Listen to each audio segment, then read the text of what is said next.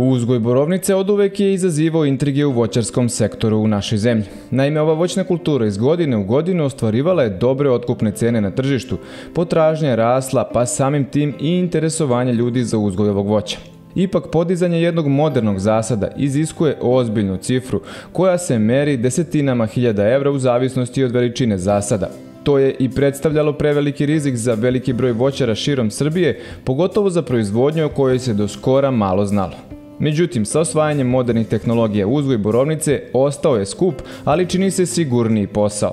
I upravo u ovom poslu svoju šansu su pronašli ljudi koji su malo toga znali o poljoprivredi, ali koji su ostvareni u nekim drugim privrednim sferama i koji su rešili da svoj teško zarađeni novac ulože upravo u ovaj biznis. Mi smo u maju 2020. potpuno slučajno upoznali e, jednu vrlo zanimljivu ekipu ljudi koja, nam je opis, koja je ušla u Borovnicu i koja nam je opisala ovaj, kako taj biznis izgleda. E, jako nam se svidalo to što smo čuli, uči, ovaj, učinilo mi se da je to dobra poslovna investicija, pre svega, a bavljanje poljoprivredom je nešto što je svakako ima budućnost i smatrali smo da je da je to jedna poslovna prilika koju treba iskoristiti. Priključili smo se toj grupi ljudi koja se ovde nalazi u Mačvi. Znači, mi smo, ovaj, da bismo bili blizu, da bismo koristili zajedničku logistiku, know-how, uh, ljude i, i, ovaj, i sve ostalo, smo praktično uh, uzeli ovu lokaciju uh, na 5 km od, od, od centralne lokacije dela Terog zadruge, koja nam je u stvari praktično mi je doživljamo kao majka firmu koja nam pomaže kroz ljudstvo, kroz mehanizaciju, kroz savete, kroz, kroz sve ostalo. Pa ajde prvo, znači, o borovnici nikad nisam razmišljao do pre dve godine, prosto nim, kad mi neko rekao da nabrajam voće, možda bi tek na 50. mestu u tom trenutku bila borovnica. Ovaj, od kada smo ušli, ušli smo u to kao poslovnu investiciju, međutim to je potpuno prirodno onda čovek kako, kako ulazi u to, kako se posvećuje tome, onda to više ne gleda kao investiciju, nego gleda kao biljku, kao živo biće, kao nešto što, e, što, što treba odgajiti, e, sačuvati od bolesti, pomoći da se razvije, da da plod, da, da živi dugo godine i tako dalje. Tako da postoji veliko zadovoljstvo u tom delu ovaj, potpuno mimo ovaj, e, biznisa, znači uzgajanje voća, odnosno biljaka je jedno veliko zadovoljstvo. Jedna velika muka, i, ali je ali je za, takođe i veliko zadovoljstvo. Tako da je to, sad imamo potpuno drugačiji pogled ovaj, na, na, na tu biljku, koja je jedna vrlo zanimljiva, vrlo zahtevna biljka, ali za ozvrat daje mnogo i daje fantastične plodove. Kao što nam priča naš sagovornik, početni kontakt sa borovnicom je prošao nenadano dobro. Od striktno biznis poduhvata gde je glavni bio papir i odnos uloga i profita, danas je za gospodina Leka uzgoj borovnica izazov iz poljoprivrednog voćarskog ugla. Analitičar po prirodi uneo se potpuno u posao. Želja da ovlada svakim delom proizvodnje odmah je nastupila, ali naravno sve u saradnji sa stručnjacima. Danas na 3 hektara u Duvaništu ovaj zasad borovnice predstavlja sam vrh u proizvodnji gde se koriste najsavremenija znanja.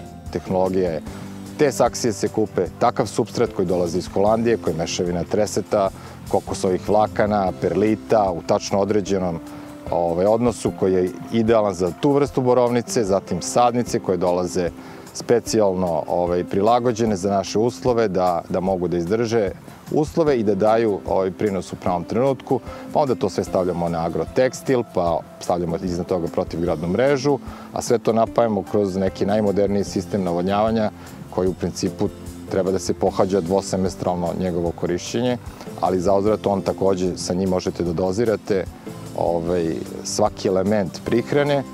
Sa druge strane imamo stručnjake koji nam prave recepturu za prihranu, i, i e, pratimo meteorološke uslove, reagujemo na sve. E, dva puta nedeljno se zasad obilazi da se vidi njegovo zdravlje, eventualno nagovešte i neke bolesti, odmah se reaguje, tako da procedure su sve na svom mestu i mi u principu, ovaj, naravno da smo imali tu i tamo neku biljku koja imala problem, ali kažem, zahvaljujući stručnim ljudima i tome što ih mi bespogovorno slušamo, mi ovaj zasad vrlo smo ponosni na na 99% zdravih biljaka koje daju ono što smo očekivali. Mi imamo trenutno tri sorte. E, imamo Duke kao dominanta na 65% zasada, imamo Draper na 25% i imamo probno neki Blue Ribbon na 10% zasada. To smo strateški uradili. Prvo da imamo malo diversifikaciju, da imamo različitu ponudu, oni u različite vremena sazrevaju i nekako u našoj kalkulaciji koja se pokazala ispravno je da, da ćemo imati optimalno angažovanje berača tokom ovog perioda. I, ovaj, i, i mi, smo, mi smo biljke, ovo je naša prva berba i mi smo po preporuci našeg agronoma biljke zimus vrlo drastično orezali. Orezali smo ih da, da daju do 1 kg. Mi smo mogli da ih orežemo da daju 2 kg, međutim, ova biljka je kao sportista. Ona treba da, da, da igra lige sledećih 10 sezona i ne treba da je iscrpimo u prvoj, da se ispovređuje i da, da ove godine da 20 koševa, golova ili čega već, ali sledeće godine da bude povređena. Znači mi, mi želimo, znači mi smo je pre svega orezali, ja verujem da smo, da, znači orez, orezivanjem smo mi dimenzionisali rod. Znači projektovno je bilo ovaj, e, 1 kilogram, Mi imamo 12.000 biljaka iz kojih ove godine očekujemo ovaj, e, rod. Ovo je prva berba u ovom zasadu. Prva berba, kao što nam je i ovaj novopečeni voćar rekao, služi da se upozna sa gotovo svakim delom proizvodnje. Zarada ove godine nije u prvom planu i berba se privodi kraju. Rezultati su tu, a i prve pouke od ove sezone. Najveća greška koju ja vidim sada je ta što smo dozvolili da da, da se suviše fokusiramo na proizvodnju, da budemo poljoprivrednici i da smo na kraju doživeli ono što doživljavaju svi srpski poljoprivrednici, da mi u 9 uveče dobijamo cenu za sutra ujutru, da nama dolazi 60 berača sutra ujutru, da koju god cenu da mi je dao uh, otkupljivač u 9 uveče prethodnog dana, ja ne mogu da ništa uradim po tom pitanju, mene će plod da prezri, ja ne mogu da vratim ljude kući i prosto to funkcioniše na principu radite sa svežim voćem, mi možemo da vam radimo šta hoćemo i radit ćemo vam šta hoćemo, ima nas ne mnogo, mi se međusobno čujemo, dogovaramo, formiramo cenu, igramo se. I ovaj, to je nešto što, što je nama, to je meni glavni nauk za ovu godinu, ne uzgajanje borovnice, ne berači za koje sam očekivao da će biti najveći problem, Na sreću ili, ili svejedno neočekivano, berači su bili najmanji problem. Berači su sjajno, znači bilo ih je na raspolaganju, sjajno su, sjajno rade svoj posao, dobro su organizovani, motivisani. Bukvalno, to je bio najveći strah ovaj, koji smo imali kada smo ulazili u ovaj posao, Ono što je najveći problem, ističe naš domaćin, je činjenica da je na otkupnim mestima lako raspoznati koja borovnica dolazi iz zasada koje rade članovi i kooperanti zadruge Delatero, a to se uopšte ne vrednuje pri formiranju otkupnih cena. Naš proizvod, naša borovnica, sorte koje mi gajimo i uopšte kvalitet, krupnoća, slatkoća i svi, svi elementi e, ploda koji mi pravimo, prosto su u jednoj zasebnoj kategoriji To se ne prepoznaje prilikom otkupa.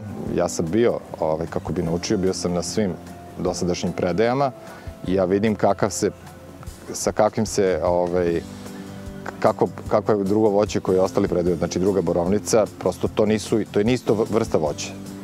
Ali ne postoji diferencijacija i mi ćemo takođe znači, pokušati ovaj, da mi dobijamo istu cenu kao i borovnica od 12 mm, naše borovnice su 20 plus milimetara, ovaj, i prosto su kao da su, da ne pripadaju istoj grupi voća. Kao što smo ranije rekli, veliki broj ljudi iz ozbiljnih biznisa u kojima je svaki uložen dinar morao da se opravda na papiru i gde se rizik u biznisu svodi uglavnom na minimum, danas se našao u poslu sa borovnicom. I zbog toga što je ta računica ove godine neisplativa, gospodin Leko vidi najveći problem. Mi imamo 3 evra po biljci OPEX u ovoj našoj godini. Znači sa beračima 4,5 evra. Znači e, onog sekunda kada cena borovnice padne ispod 4,5 evra, mi smo na gubitku. Ne da ne vraćamo investiciju, nego ne pokrivamo troškove za 2022. Ok, naš, naš OPEX je dosta visok, ali očekuje se da je OPEX u ovoj vrsti u ovoj vrsti uh, takozvane hidroponije u saksijama, sa, znači u zasadima sličnim naše tehnologije treba da bude oko 2 evra po biljci godišnje, da se na đubrivo i prihranu i zaštitu potroši još pola evra, da do, do, sada su, do sada se računalo da su, ovaj, znači to je 2,5 evra i, i sa beračima da to bude 3,5 do 3,7 evra. Ove godine je sve poskupilo, svi inputi su poskupili, đubrivo je poskupilo mnogo, od 30 do 130 posto, sve je poskupilo, ovaj, berači ove godine ovaj, takođe su osetno skuplji nego prošle godine, a dva puta skuplji nego godine u kojoj smo mi ovaj, doneli odluku da uđemo u ovaj biznis. Što ja poštojem, sve je poskupilo i treba njihove satnice da, da poskupe i nije problem u njihovoj satnici, problem je u otkupnoj ceni. Njihova satnica nije velika ako je otkupna cena fair, odnosno onakav kakva treba da bude za voće koje mi predajemo. Ova godina pokazala se kao jako nezahvalna za prognozu. Naime, Srbija na tržištu borovnice ima odličan prostor i tražena je jer stiže u periodu kada je završena berba u Italiji i Španiji, a još uvek nije počela u Poljskoj. Stoga borovnica iz srpskih zasada prethodnih godina dostizala je dobre cene, pošto u tom periodu sveže borovnice na tržištu gotovo da nema. Ove godine borovnica je čak stigla i nedelju dana ranije u odnosu na prethodnu, ističe naš sagovornik, ali to nije donelo očekivane finansijske efekte.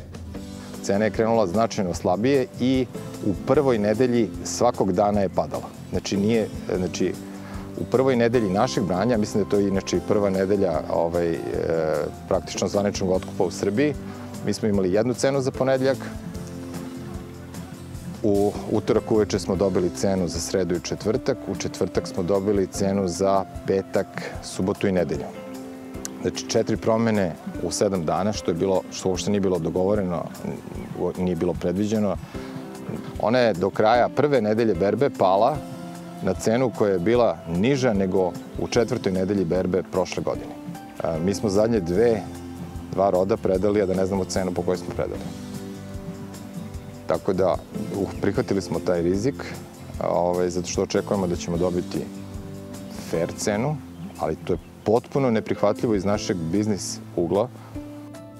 Kao što smo ranije napomenuli, ovom voćaru nije bio cilj da povrati investiciju u prvoj berbi. Još uvek smatra da nije ovladao svakim segmentom proizvodnje u meri u kojoj želi, a delu koji se odnosi na plasman posvetit će najveću pažnju do naredne berbe.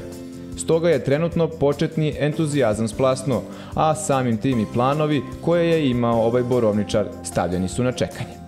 Znači, mi smo hteli odmah da se širimo. Kako smo uzeli prva tri hektara, tako smo rekli odmah uzimamo još sledeće tri, onda ćemo imati šest i tako dalje. Mislim, mi smo potpuno svesni da postoji jedna ovaj posao koji ne može da se e, neograničeno širi bez obzira koliko novca za investiciju imate, zato što su usko grlo je logistika, odnosno berači.